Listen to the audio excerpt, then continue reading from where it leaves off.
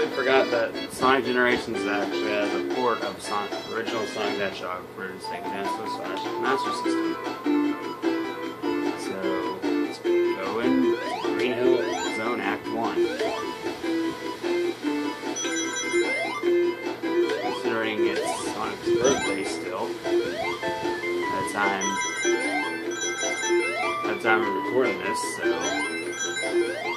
might as well this.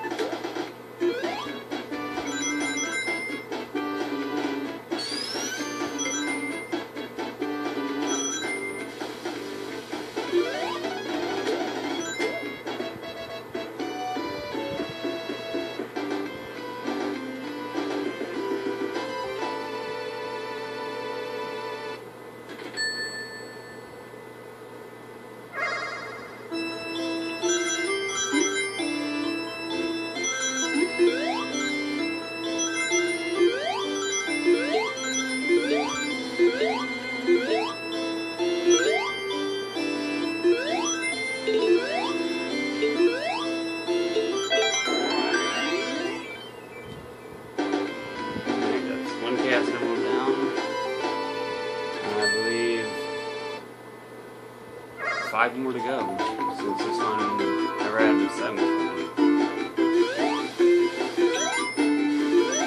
But then again,